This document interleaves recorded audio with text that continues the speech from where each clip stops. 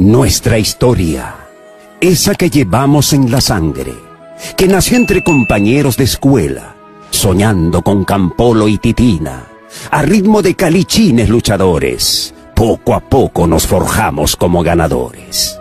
Llegamos a Berlín y brillamos con luz propia, pero no pudimos alcanzar la copa por la soberbia de un viejo opa.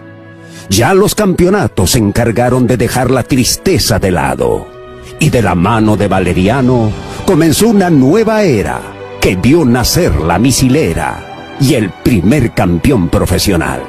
Alcanzamos la gloria un par de veces más. El cielo rosado con seis estrellas en total. Pero las nubes grises llegaron al Callao. El descenso se hizo inevitable.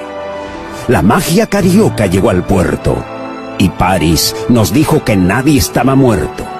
Samba y salsa sonaban bien por esos años. Gozamos un tiempo con Marquiño y Alao.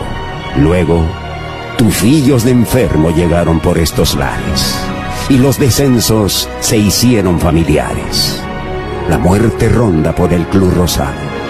Pero esta historia acá no ha acabado porque llegó el hincha a poner su sangre, sangre que empuja con su historia, que no se amilana ante nada, sangre de verdadero hincha, sangre rosa.